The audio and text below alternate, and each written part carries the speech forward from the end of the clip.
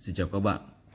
Rồi hôm nay chúng ta sẽ cùng là đi tìm hiểu về kế hoạch sử dụng đất của tỉnh Long An là cửa ngõ phía tây của thành phố Hồ Chí Minh kết nối các tỉnh à, phía tây Nam Bộ cùng với lại Hồ Chí Minh. Thì à, chúng ta sẽ cùng tới đầu tiên đó là thành phố Tân An trước của tỉnh Long An. Đây, chúng ta cùng nhìn thấy đây, tôi đã mở trên bản đồ rồi. Đây chính là Tân An các bạn ạ. Thành phố Tân An thì à, đây này chúng ta dễ dàng nhìn thấy rất nhiều phường này.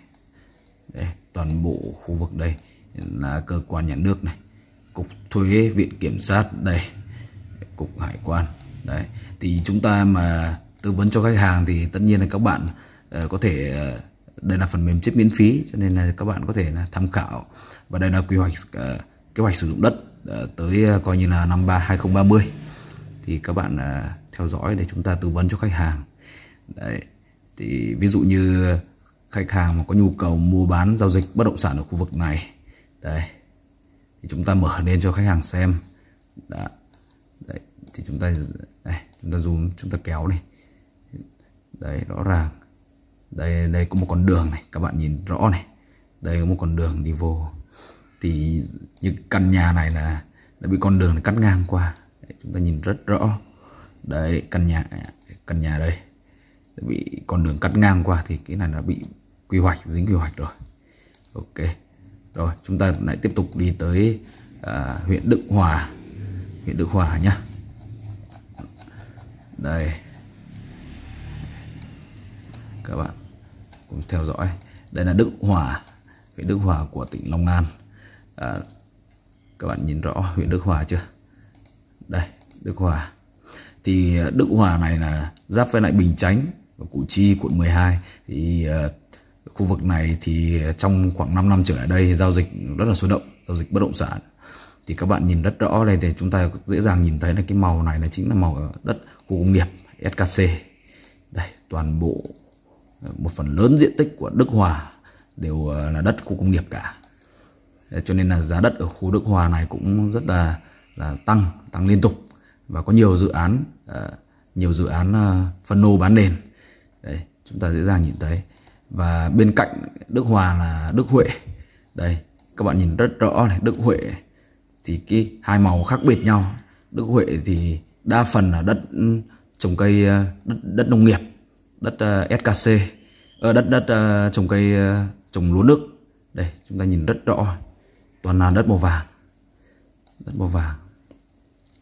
Đấy ví dụ như khách hàng của chúng ta đi mua đất thì uh, để mà đầu tư thì các bạn cũng phải theo dõi phải đón xem. À, ví dụ như là những cái cung đường ấy à, đất mà tiếp giáp với đường này thì nó sẽ là đất ở. Còn bên trong này thì nó không phải đất ở nữa nó sẽ là đất trồng lúa nước. Nên chúng ta để ý tư vấn cho khách hàng hoặc là khách hàng có thể là đây ví dụ như trên cái thửa đất này à, thuộc một tờ bản đồ thì có thể là cái phần diện tích này là là của ờ, một cái thửa đất nào đấy. Người ta bán cái lô đất này thì rất là lớn thì chúng ta cùng kiểm tra xem là nó dính quy hoạch như thế nào. À đây thì có quy hoạch là uh, chỗ này thì được lên uh, đất ở uh, nhưng mà đằng sau này thì lại là đất trồng lúa thì không lên được thổ cư.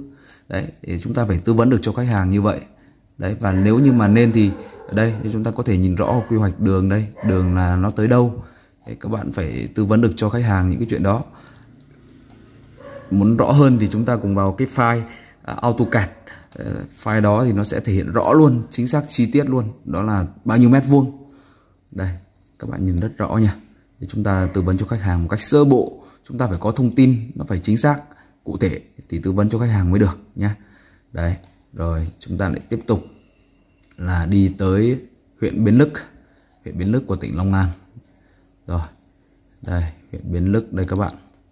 Đây Bến Lức này. Rồi uh, huyện Cần Đước huyện Cần Duộc.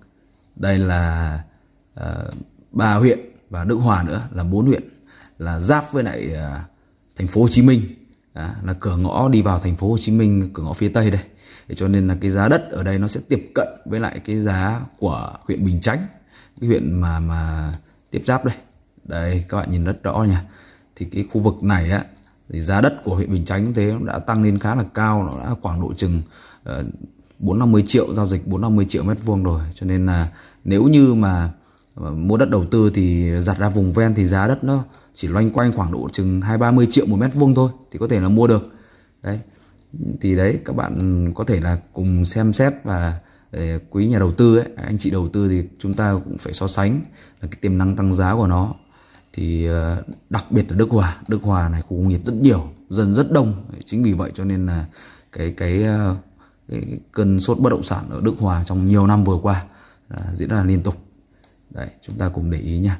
Đây thậm chí là huyện Cần Đức, Cần Duộc Bến Lức đây nó có cái đường vành đai 4 này đi qua này. Đấy các bạn để ý này tôi zoom lại. Nó có cái tuyến đường vành đai 4 đây. Đây đây chính là tuyến đường vành đai 4 và bắt qua bên kia thì đường vành đai 4 này các ai xem à, video của tôi về vành đai 4 thì các bạn để ý là đường vành 4 vành đai 4 này là kết nối đi về sân bay Long Thành đi về à, cảng Cái Mép. Yeah. thì sau này nếu như mà chúng ta à, đi từ Long An đi từ miền Tây đi về khu vực cảng Cái Mép Bà Rịa Vũng Tàu khu vực này thì chúng ta sẽ có cây cây cầu uh, kết nối uh, đi qua vành đai 3 đây.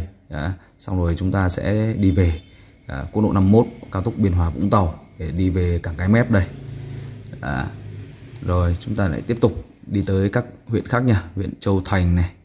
À, thị xã Kiến Tường này.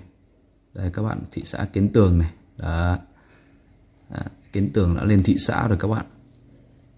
Mặc dù diện tích trồng lúa nước còn rất nhiều tuy nhiên là uh, cái uh, cực tây của tỉnh Long An thì là thị xã Kiến Tường uh, làm trung tâm thì đã lên thị xã rồi. Đây và điều kiện phát triển thì miền Tây là còn khá là tiềm năng rất nhiều điều kiện phát triển. Rồi chúng ta tiếp tục đi tới uh, Tân Hưng này. Đây Tân Hưng này một đại bộ đại cái, cái đa phần diện tích của Tân Hưng Tân Hưng là thuộc uh, quy hoạch đất trồng lúa. Đấy, miền Tây đồng bằng sông Cửu Long. Thì cái diện tích trồng lúa nước là lớn nhất cả nước. Rồi uh, Tân Thành. Đây huyện Tân Thành rồi huyện Thủ Thừa này rồi Tân Trụ này Vĩnh Hưng này. Đây chúng ta có thể dễ dàng nhìn thấy. À, và ở đây là có một cái tuyến đây cái chỗ này tôi đã bôi lại. Thì chỗ khu vực này nó thuộc là, là biên giới bên kia là Campuchia. Đây phần đất này là Campuchia bên này vẫn là Việt Nam. Và chúng ta còn một huyện nữa thì uh, chưa có file KMZ nên là chưa có mở ra cho các bạn xem được đây các bạn nhé. Thì uh, uh, chúng ta dễ dàng nhìn thấy quy hoạch của tỉnh Long An kế hoạch uh, sử dụng đất mục đích sử dụng đất của uh, từng khu vực là gì trong từ nay cho tới năm 2030 chúng ta biết để chúng ta sẽ mua uh, đầu tư hay là các anh chị là nhà đầu tư ấy, có nhu cầu mua đầu tư thì chúng ta phải chú ý. Đây là tỉnh Long An. Rồi cảm ơn các quý anh chị đã theo dõi.